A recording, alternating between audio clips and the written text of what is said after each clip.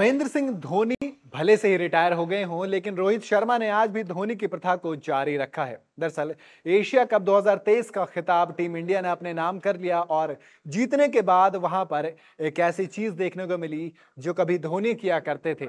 वही काम रोहित शर्मा ने किया। दरअसल, जीत के बाद जो एशिया कप 2023 की ट्रॉफी थी वो दो यंगस्टर खिलाड़ियों के हाथ में दिखी। ईशान, किशन और तिलक वर्मा दोनों रोहित शर्मा के साथ मुंबई इंडियंस में भी खेलते हैं, लेकिन सबसे बड़ी बात यह है कि रोहित शर्मा ने उस प्रथा को जारी रखा है जो धोनी किया करते थे, यानी कि खुद पीछे हट जाइए और जो टीम में नए लड़के आए हैं, उनको जोश दीजिए, उनके साथ उनके साथ हौसला बढ़ाइए और ट्रॉफी उनको दीजिए, आगे जाके पोस्ट कीजिए। आप पीछे खड़े हो जाइए, क्योंकि आप अपना काम कर चुके हैं। वनडे इंटरनेशनल क्रिकेट इतिहास के सबसे छोटे मैच में भारत ने मेजबान, यानी कि जो को होस्ट कर रहे थे पाकिस्तान के साथ मिलकर श्रीलंका को 10 विकेट से बुरी तरह से हरा दिया।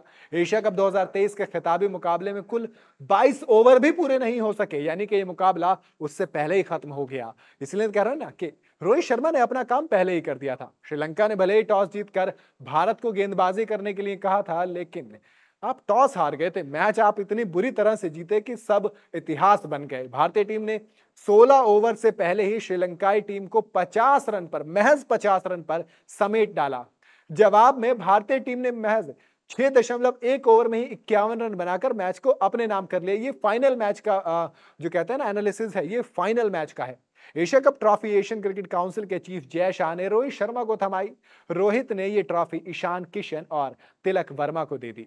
मज़ेदार बात यह है कि दोनों खिलाड़ी आईपीएल में मुंबई इंडियंस से खेलते हैं, रोहित की कप्तानी में खेलते हैं और तिलक को एशिया कप 2023 के दौरान वनडे इंटरनेशनल में डेब्यू करने का भी मौका मिला था उन्होंने। एक मैच में ज़रूर डेब्यू किया लेकिन रन नहीं बना पाए। दरअसल तिलक वर्मा को सुपर फोर में बांग्लादेश के खिलाफ डेब्यू करने का मौका मिला था और इसके बाद उन्होंने रन ज़रूर नहीं बनाए, पर जब टीम इंडिया इस एशिया कप का खिताब अपने नाम किया तो तिलक वर्मा ने ट्रॉफी उठाई और फिर टीम इंडिया ने साथ में पोज दिया। इस तरह से महेंद्र सिंह धोनी की शुरू की गई प्रथा अभी तक जारी है। इंडियन क्रिकेट में धोनी ने यह प्रथा शुरू की थी कि वो जब भी कोई सीरीज़ या ट्रॉफी जीतते थे तो ट्रॉफी किसी युवा क्रिकेटर को थमा देते थे। धोनी का मानना था कि कप्तान होने के नाते एक खिलाड़ी को वैसे ही काफ़ी लाइमलाइट मिल जाती है। ऐसे में ट्रॉफी खुद ही लिए रहना ठीक नहीं लगता और वो इसलिए तुरंत किसी युवा खिलाड़ी को बुलाते हैं और कहते हैं, लीजिए भैया ट्रॉफी और दीजिए। आपको याद होगा, जब धोनी ने एशिया कप जीता था तो दीपक चहर थे आगे, युजवेंद्र चहल थे। हार्दिक पांड्या को एक ट्रॉफी धोनी ने उठाई थी। धोनी के बाद विराट कोहली, रोहित शर्मा और हार्दिक पांड्या तीनों ने ही इस प्रथा को जारी रखा है। भारतीय क्रिकेट टीम को अब 22 सितंबर से ऑस्ट्रेलिया के खिलाफ तीन मैचों की वनडे इंटरनेशनल सीरीज़ खेलनी है और फिर एक छोटे से ब्रेक के बाद भारतीय टीम वर्ल्ड कप 2023 में हिस्सा लेने के लिए उतरेगी। आईसीसी वर्ल्ड कप 2023 भारत की मेजबानी में। जी हाँ भारत होस्ट कर रहा है इस आईसीसी वर्ल्ड कप को, जो कि 5 अक्टूबर से 19 नवंबर के बीच में खेला जाना है। ऐसे में एक बार फिर से टीम इंडिया के पास मौका है कि भैया, रोहित शर्मा की कप्तानी में आप एक जो वनवास चल रहा है। जी हाँ आखिरी आईसीसी ट्रॉफी हम 2013 में जीते थे।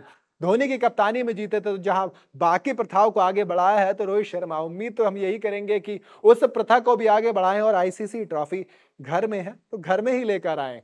आपको क्या लगता है कि रोहित शर्मा एक बार फिर से धोनी की इस प्रथा को भी आगे बढ़ा पाएँगे, यानी कि क्या वो आईसीसी 2023 वर्ल्ड कप की ट्रॉफी घर पर ला पाएँगे? मुझे कमेंट में ज़रूर बताइएगा। वीडियो अगर आपको पसंद आई हो तो इसे लाइक और शेयर ज़रूर करें और जाते जाते चैनल को सब्सक्राइब करना बिल्कुल ना भूलें।